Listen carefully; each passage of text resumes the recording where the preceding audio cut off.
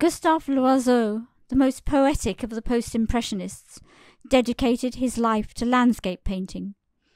He came from humble beginnings, the son of a butcher from Pontoise, and glimpsed the possibilities of an artistic career when working as a decorator in the house of the academic painter Fernand Quignon. Loiseau studied at the École des Arts Décoratifs and briefly in the studio Quignon, but was distressed by the older man's reliance on studio based compositions.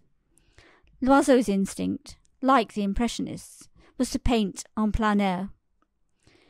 In 1890, Loiseau went to Pont-Aven in Brittany, already famous as an artist's colony. He met Paul Gauguin and briefly fell under his spell, but his mature work reflects his sensitive response to Impressionism, particularly the paintings of Pissarro, Sisley, and Monet. Loiseau's landscapes are richly worked tapestries of shimmering hues, which fuse on the vision, a record not just of a fleeting moment in nature, but a deep emotional resonance to a place. The great rivers of France, the Seine, Oise, Loing, and Yonne, were key to his work, opening up a mirror of light in his compositions. This painting depicts Nesles-la-Vallée, a village not far from Pontoise, the home of Loiseau's parents. Embowered in a mature kitchen garden, the house exudes an air of rural well-being. Loiseau's subtle response to the qualities of light proclaims the integrity of his plein air painting. His biographer explained his working methods.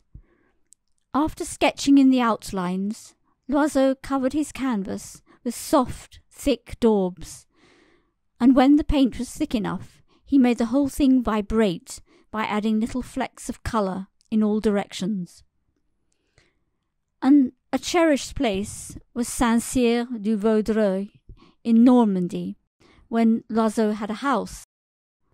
This painting glows with colour.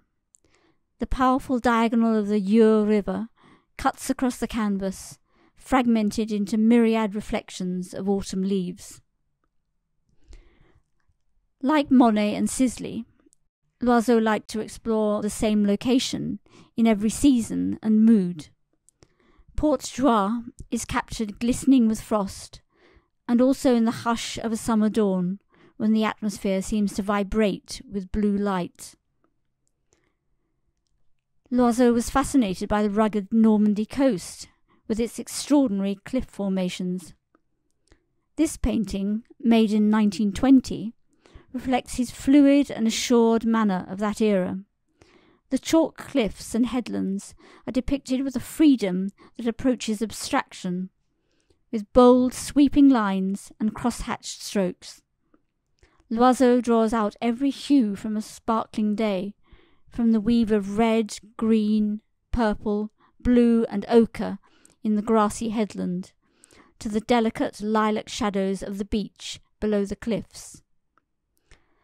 Gustave Loiseau, the shy nature lover who had lived in Montmartre as a young man, while serenely evading the squalor of the vie de bohème, quietly fulfilled his destiny as a painter.